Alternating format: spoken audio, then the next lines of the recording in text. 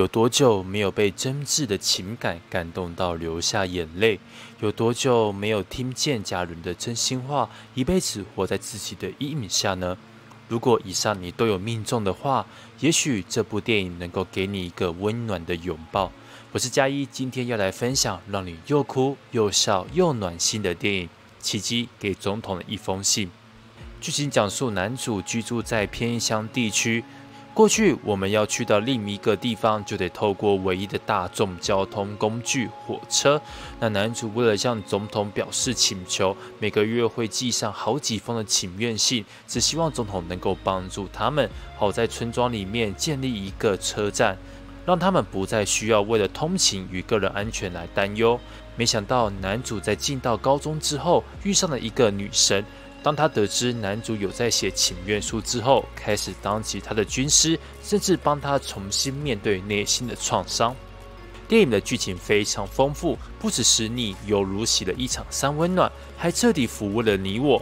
那怎么说像洗三温暖呢？那剧情可能上一秒在逗乐你我，下一秒就变成内心戏，感受主角们内心的波动。在透过层层堆叠的情绪，不断催促着你我交出眼角内的泪水。而电影非常清楚自身的主轴是什么，即便前期透过较为轻松的调性，让观影的大家能够哈哈大笑，但电影来到中段之后，开始给观众大反转，不止将前头所埋下的伏笔一一串起，甚至带来前所未有的发展。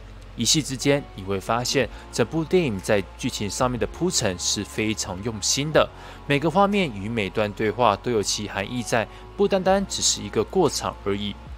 男主在上高中的第一天，对着摄影师拿捧花拍照的时候，那摄影师疑惑的问他说：“你确定要这样拿吗？”那男主不假思索回应：“对，没有错。”明明镜头前面除了男主，还有男主的姐姐啊，那为什么摄影师会说出这么奇怪的话呢？直到中段透过角色间的对话，才发现到原来姐姐早在开头的时候离开了男主，现在的她只是一个鬼魂，只有男主才看得到她。如果以嘉义的看法，我个人觉得姐姐之所以能够存在，其实是因为男主的愧疚。毕竟当时火车到来时，他们一伙人其实是可以安全度过的。但是姐姐为了取回男主得来不易的奖杯，伸手一抓，却因此掉了下去。而这一失足，男主再也找不回他的身影。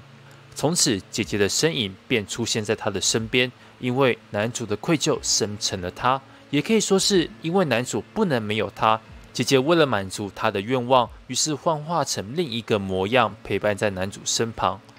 有时候我们会被愧疚感捆绑，觉得一切都是自己的错。如果当时没有做出这个决定，是不是对方或是家人就会逃过一劫？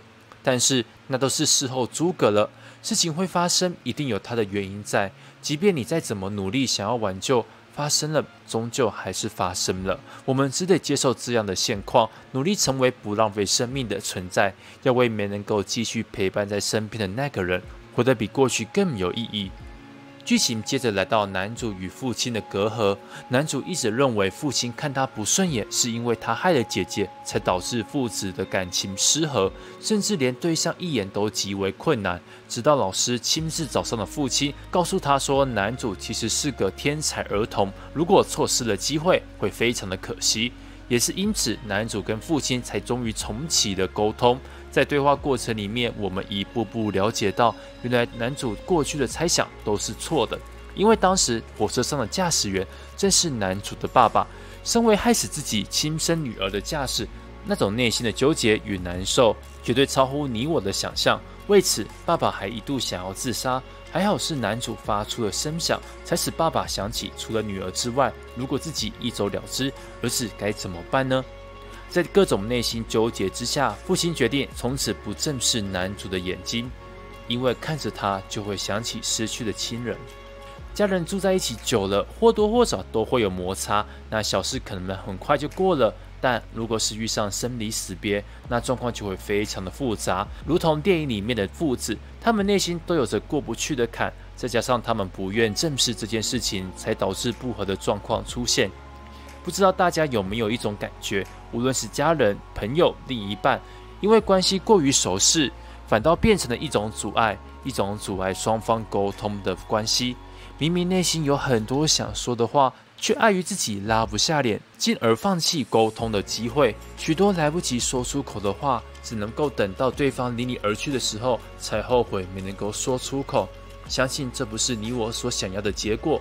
如何找到最适合自己的方法，就得从先了解自己，明白怎么做会最好之后，一切自然会找到解答。最后来聊聊女主吧。打从一开始，她就知道男主与众不同。在得知他想为村落建造简易车站，于是不断寄信给总统，希望能够得到正面的回复。她开始当起了小老师，小到纠正错字，一起写信给总统。大到帮他思考如何跟总统见面，甚至不断给予男主鼓励，让他相信自己的能力是好的，不应该轻易放弃自己的梦想。你的人生在哪个时候遇到一个心灵导师呢？他可能大你不少，也有可能跟你同岁，但他的出现。让你对于自身价值开始有了不同的转变，从一开始的迷茫无助、找不到人生目标，到最后发现自己与众不同，甚至有能力帮助更多跟过去的自己一样迷茫的人时，你会意识到，有时人的改变不需要大起大落，只需要一个对的人出现，带领你往更好的方向前进，就能够改变你一成不变的人生。总结而言，奇迹给总统的一封信。真的是部今年必看的暖心之作。整部电影有太多太多亮点与细节，是无法在一部影片里面说清楚、讲明白。这部电影是需要进戏院亲自感受其电影的含义，并细细的品味。原本以为本片只是打着明星的演员名号，电影本身可能没有什么亮点，那是因为嘉义的朋友一直推荐我要去看，不然差点就错失了一部好电影。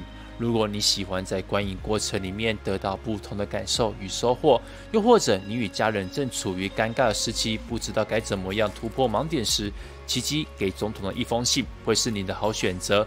当影评上线的时候，有可能电影也下档了，但真心推荐大家等到二轮上档或是线上平台有电影的时候，一定要看一下这部电影，能够让你体验到何谓三温暖般的观影感受。我是嘉一，我们下部影片见喽。